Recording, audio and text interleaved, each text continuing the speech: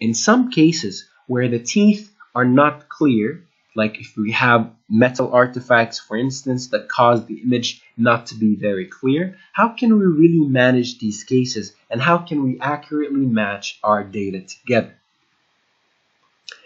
For that, we actually came up with quite a new solution. So what we're using is what we call the R2 tray.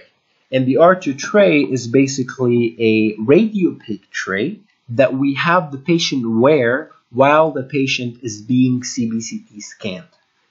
So how do we really use and prepare the R2 gate uh, tray? So in essence, what we say is in cases like these where you have a lot of natural teeth, there is no need for you to use an R2 tray. Just go ahead and scan the patient since you already know that you can see the teeth quite clearly and there's no metal in the patient's mouth.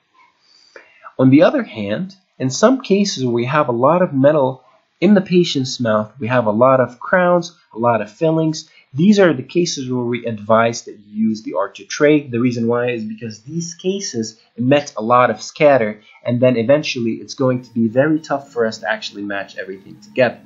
So the R2 tray is a short tray that we can place in the patient's mouth. Right here in the video, you see that we're trying to fit of the tray in the patient's mouth just to make sure that it fits in the patient's mouth.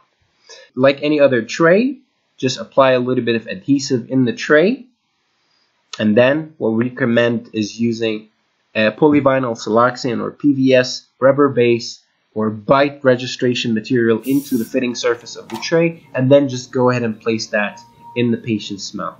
Right here, you'll see that we're placing the tray in the patient's mouth all the way down until it actually fully seats in the patient's mouth.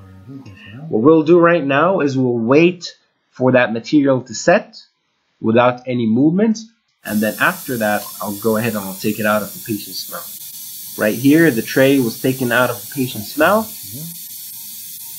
and we're just trying the fit of the tray again just to make sure that there are no rocking movement that happens in the patient's mouth right here.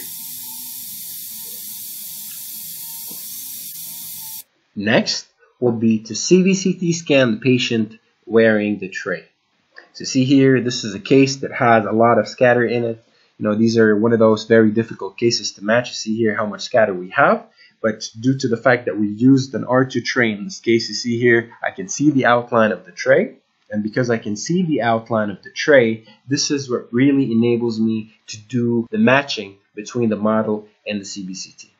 So you see here how the R2 tray actually helps us in this process. And due to the, to the fact that it has a flat, nice outline that enables us to confirm the accuracy of the matching as much as possible. And this is what we need. In guided surgery, the accuracy of the matching really, really makes a big difference when it comes to the accuracy of the placement of the implant. The final implant position is, you know, tremendously affected by the accuracy of the match. So, in essence, when and when not to use an R2 tray. So, in natural teeth, where cases like this, where we have a lot of natural teeth, you don't need to use an R2 tray.